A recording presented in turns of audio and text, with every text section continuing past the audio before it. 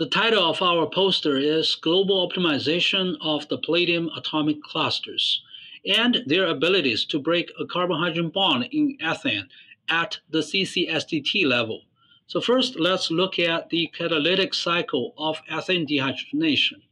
So we can see this palladium atomic cluster can remove two hydrogen atoms from ethane to form ethylene. The first hydrogen removal is rate limiting step. So we focus on this chemical reaction in which this palladium cluster inserts into a carbon hydrogen bond of ethane. We used two different computational methods. We used the B3LYP method for geometry optimization and vibrational frequency calculation.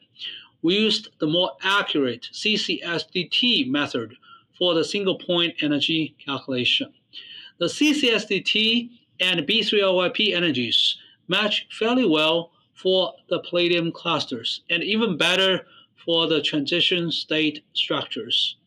We calculated the atomization energies of the palladium cluster global minima. We can see the atomization energy per atom increases monotonically as the cluster size increases. We also looked at the second derivatives of the atomization energy. We see two positive numbers and four negative numbers. So those four negative numbers means, well, palladium 2, 3, 5, and 7 are less stable than their neighboring cluster sizes. Those are the palladium cluster global minima from size 3 all the way to size 8. S is the spin quantum number. So for example, when we look at this, we know the global minimum of PD3 has a triangular shape with uh, this uh, all electron paired at the singlet electronic state. And this is the MO diagram of PD3. Uh, we can see the LUMO is made of d orbitals, while the HOMO is made of the 5s orbitals. Below HOMO, we have 14 MOs that are made of d orbitals. So it's pretty interesting. By doing this, swapping HOMO and LUMO, uh, we can have two sigma bonds in PD3. One sigma bond is this, due to the two bonding electrons in this HOMO. And also by removing two electrons from this anti-bonding orbital, we have another sigma bond due to the interaction among the d orbitals. Now those are the structures of the transition states from size 3 to size 8. Uh, in each of the transition state structure, you can see there are three partial bonds uh, between carbon and hydrogen, hydrogen and palladium, and palladium and carbon. We quantize the ability of the palladium clusters here. So we're looking at the internal energy of activation at 0K, enthalpy of activation, Gibbs energy of activation at room temperature. So from this graph, we can see palladium 2, palladium 6, palladium 8, they have lower enthalpy of activation than other sizes, so they are better catalysts. For PD2 and PD6, we even observe negative activation energy. And why is that?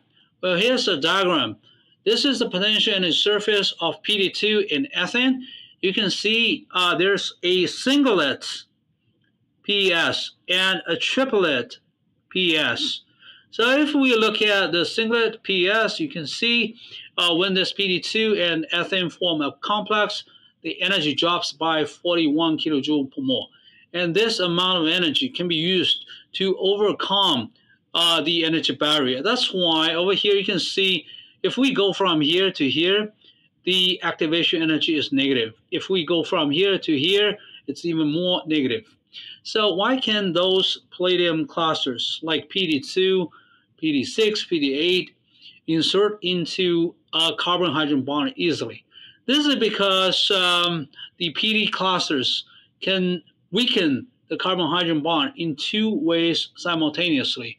One way is this, well, the PD cluster can donate its 4d electrons into the anti-bonding orbital of carbon-hydrogen bond it can also accept the bonding electrons from this CH bond.